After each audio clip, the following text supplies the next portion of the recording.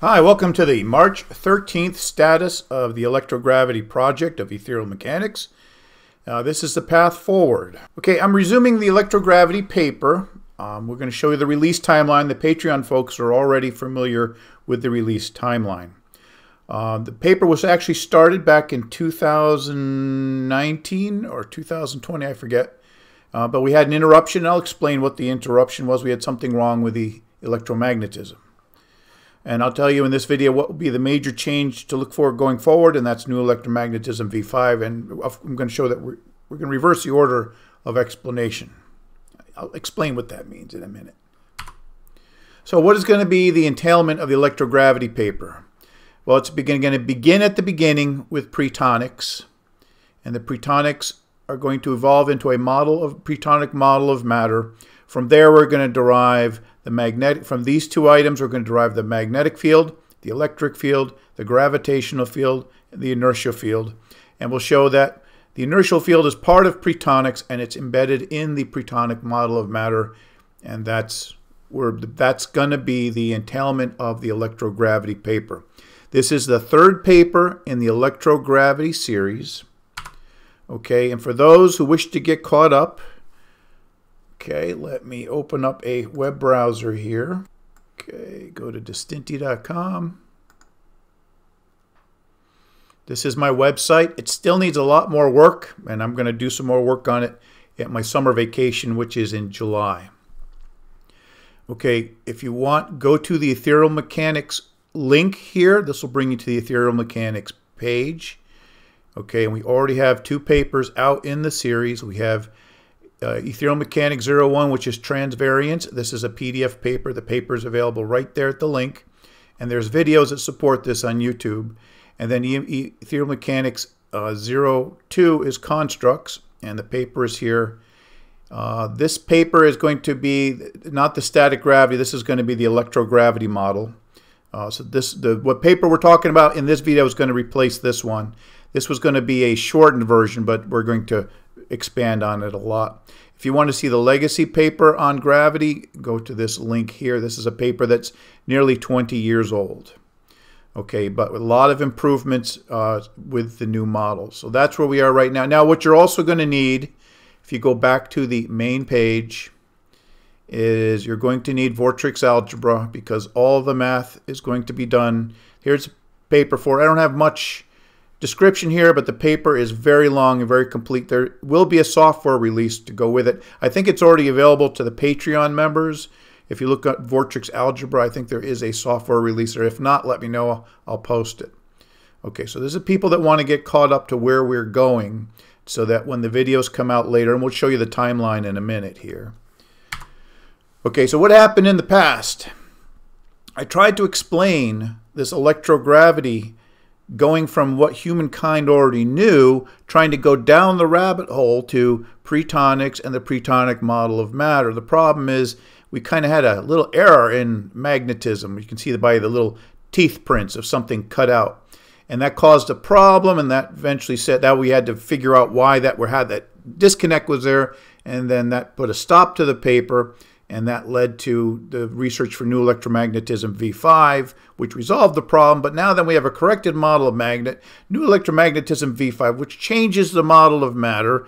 And then we, in order to kind of explain all this, going from what humans know down the rabbit hole, we also had to explain the gravitational field in terms of a simple model ether model. But to justify the simple ether model, we had to ex expand to the advanced ether model and show all the cosmological predictions that it gets right before we can then justify using the simple ether model. And this whole thing just became a total quagmire trying to explain it going from what humans know to the going down the rabbit hole because it would the whole this course took me 20 years to figure out all of the weird convolutions contortions things we got wrong and that's why i've decided that we're going to do it the proper way. We're going to start at the beginning. This is going to be totally alien to anybody that has been ex explained physics using the classical or mainstream theory. It's going to be totally alien to you. And we're going to derive the normal things that you see. So we're going to end up, we're not going to start from what you are comfortable with. We're going to end up where, where you're comfortable with. Okay, and this is going to be the electrogravity paper. That's going to be split off into two follow-on papers. This is New Electromagnetism uh, version 5 applications paper, which will show you how to take the new electromagnetism V5 equations and how to run simple experiments with magnets, wire, and glue and get the same answers you can get with classical theory. And then there will be a simple model of light. I don't know if this will be included in the paper or it'll be a follow-on paper, but that's, that's we're going to have a simple model of light. And this is going to include the models for refraction, reflection, diffraction, absorption, and coupling. And again, it's going to be simplified models. Okay, and then there's going to be the cosmolog cos ethereal mechanics cosmology paper where we're going to introduce the advanced ether model and show you that you don't need all the dark matter to explain the behaviors of galaxies.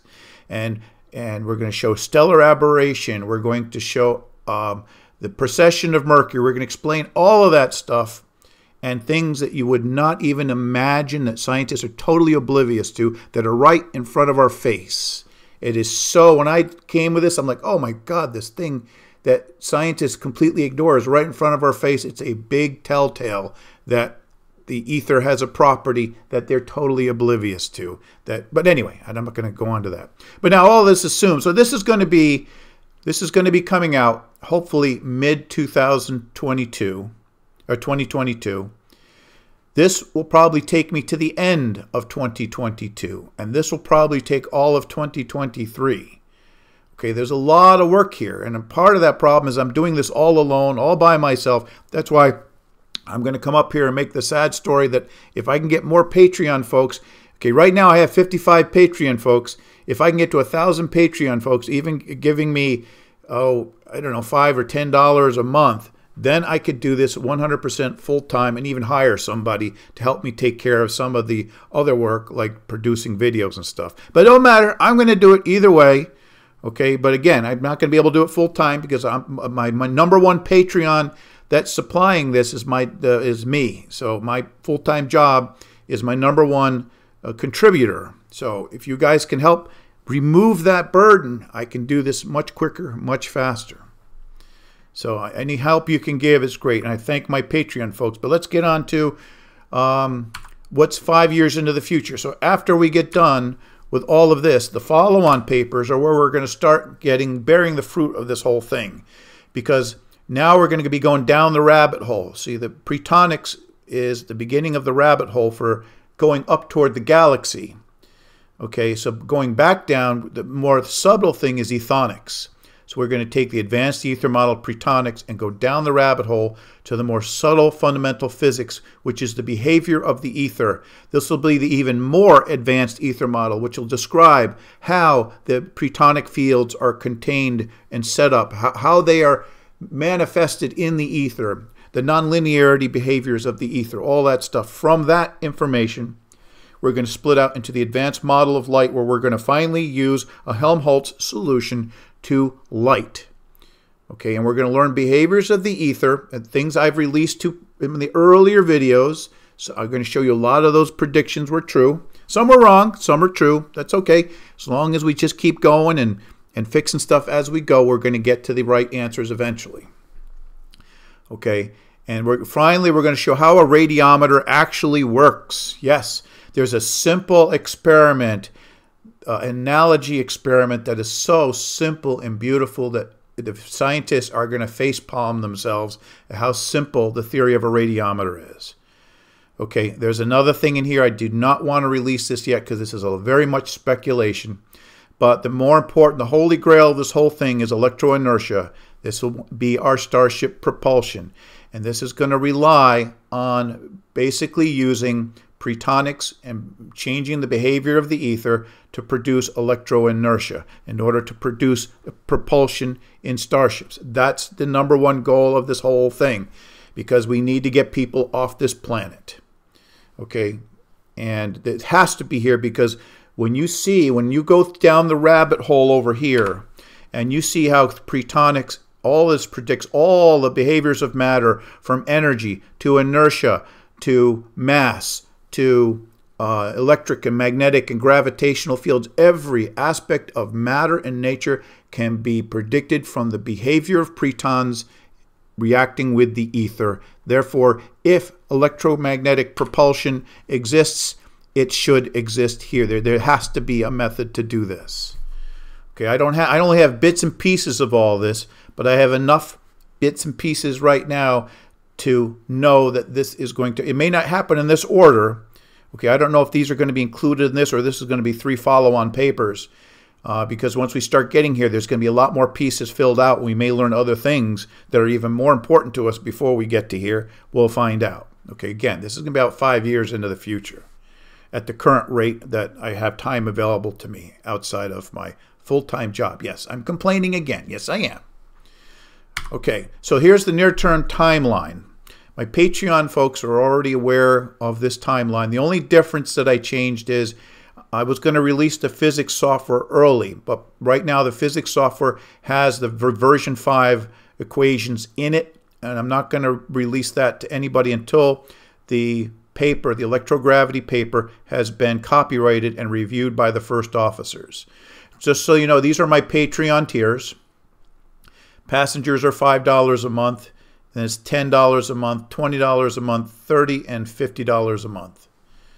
Okay, um, so a lot of my first officers have been with me since the beginning, and a lot of them are great. They said, We don't care about our tier benefits. You're doing great work. Get to the end.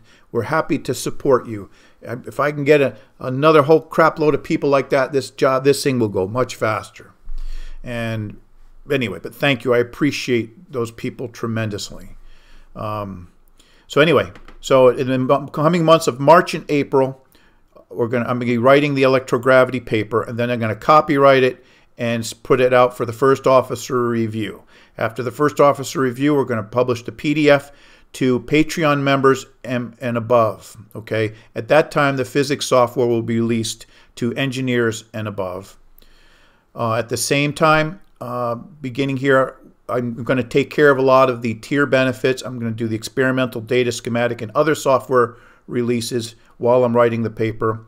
Once I'm done writing the paper, before I release the paper, I'm going to start with making the video series, and we're going to make good quality videos. These are probably going to take two weeks of production each, and put in all the animations, all the pictures, everything. Try to put music in there. Do the best I possibly can to make these the best video quality uh, that I, I can do.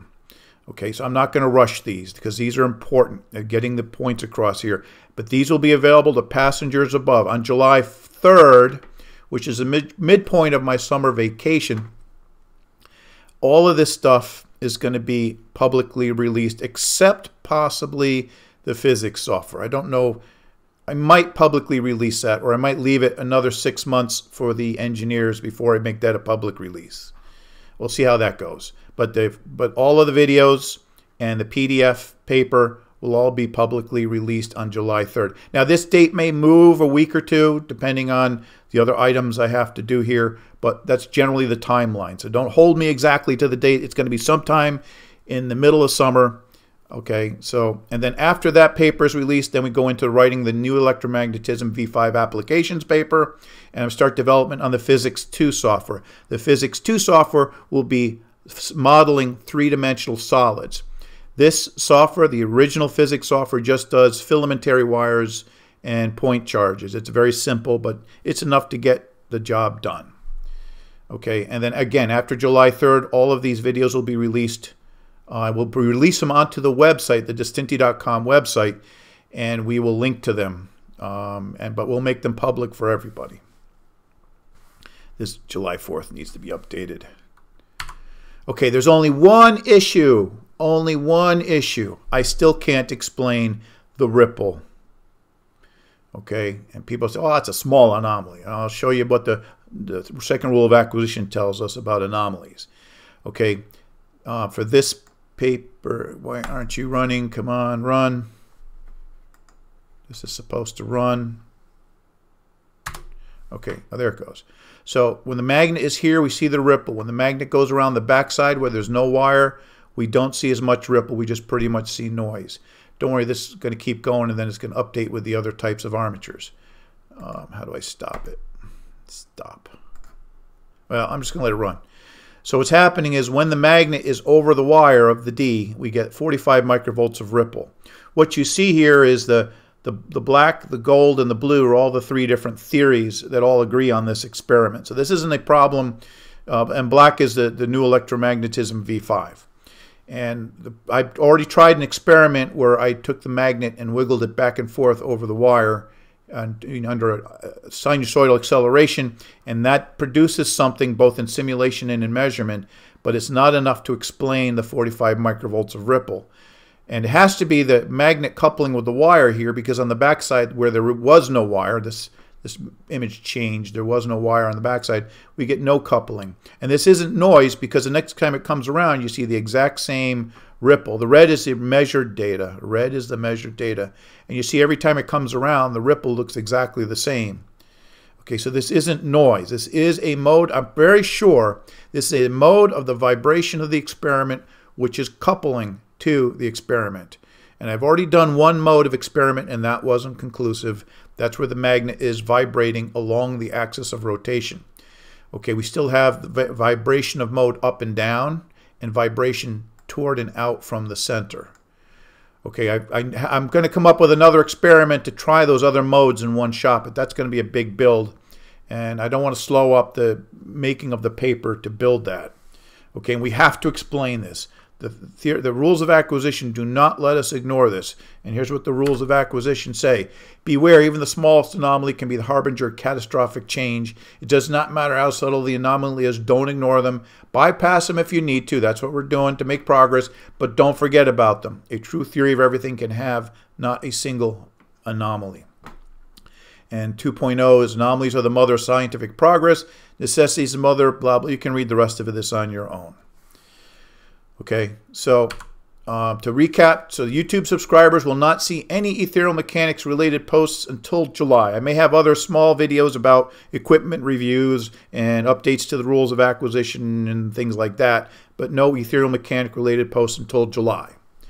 Okay, Patreon passengers and above will start seeing the electrogravity videos as early as May. Okay, I'm not expecting any other problems other than the beginning of World War III. Okay, that's the only thing that's going to stand in the way of this. But unfortunately, that every day looks like it's going to be more and more reality with this stupid nonsense going on in the world. And I want to thank my Patreon folks for their steadfast support. Uh, the links to the Patreon, to the blog, and to my website are in the low bar. But here's the Patreon. You can get there by either way. I'm not sure if this works. For some reason on my computer this doesn't work, but it's supposed to work. This definitely works. So thank you very much.